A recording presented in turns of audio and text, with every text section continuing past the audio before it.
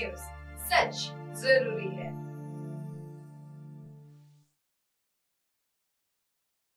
नमस्कार, मैं कंचन और आप मुझे देख रहे हैं हमारे न्यूज़ लाइव पर। आइए देखते हैं आज के दिन की शुरुआत की खास खबरें, जिसे सुनकर आपका दिन बन जाए। अंडरवर्ल्ड डॉन दाऊद इब्राहिम की बहन हसीना पारकर से ज़मीन खरीदने के आरोप में राष्ट्रवादी कांग्रेस पार्टी के वरिष्ठ नेता नवाब मलिक की मुश्किलें बढ़ सकती हैं।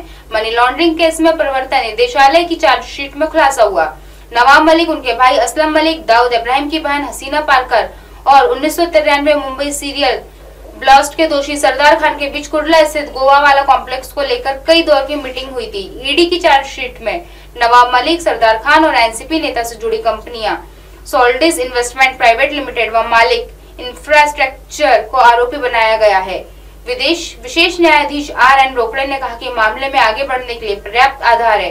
अदालत ने कहा, यह इंगित करने के लिए प्रथम दृष्टया सबूत है कि आरोपी सीधे और जानबूझकर मनी लॉन्ड्रिंग अपराध में शामिल है। अंडरवर्ल्ड टाउन दाऊद इब्राहिम की बहन हसीना पारकर से ज़मीन खरीदने के आरोप में राष्ट्रवादी कांग्रेस पार्टी के वरिष्ठ नेता नवाब मलिक की मुश्किलें बढ़ सकती है। मनी लॉन्ड्रिंग केस में प्रवर्तन निदेशालय की चार्जशीट में खुलासा हुआ है कि नवाब मलिक, उनके भाई असलम मलिक, दाऊद इब्राहिम की बहन हसीना पारकर और उन्नीस सौ तिरानवे में मुंबई सीरियल ब्लास्ट के दोषी सरदार खान के बीच कुरला स्थित गोवावाला कॉम्प्लेक्स को लेकर कई दौर की मीटिंग हुई थी। ईडी की चार्जशीट में नवाब मलिक, सरदार खान और एनसीपी नेता से जुड़ी कंपनियों, सॉलिड्स इन्वेस्टमेंट प्राइवेट लिमिटेड व मलिक इंफ्रास्ट्रक्चर को आरोपी बनाया गया है। विशेष न्यायाधीश आर एन रोकाडे ने कहा कि मामले में आगे बढ़ने के लिए पर्याप्त आधार है। अदालत ने कहा, यह इंगित करने के लिए प्रथम दृष्टि सबूत है कि आरोपी सीधे और जानबूझकर मनी लॉन्ड्रिंग अपराध में शामिल है।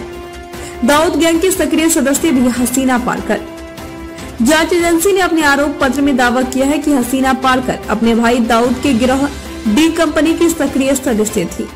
वह ट्रेलर फंडिंग के लिए गोवावाला कॉम्प्लेक्स सहित अन्य कई प्रमुख संपत्तियों के अनाधिकृत कब्जे अधिग्रहण में शामिल थी। अदालत ने कहा कि नवाब मलिक द्वारा हसीना पार्कर की मिली भगत से कथित रूप से हड़पी गई संपत्ति मनी लॉन्ड्रिंग एक्ट के तहत अपराध की आई है।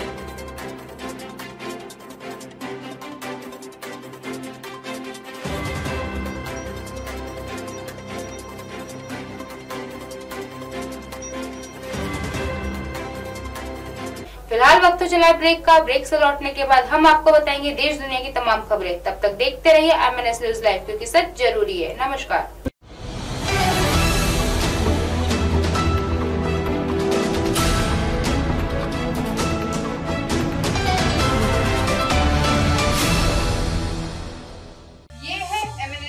है और आप देख रहे हैं एम एन एस न्यूज़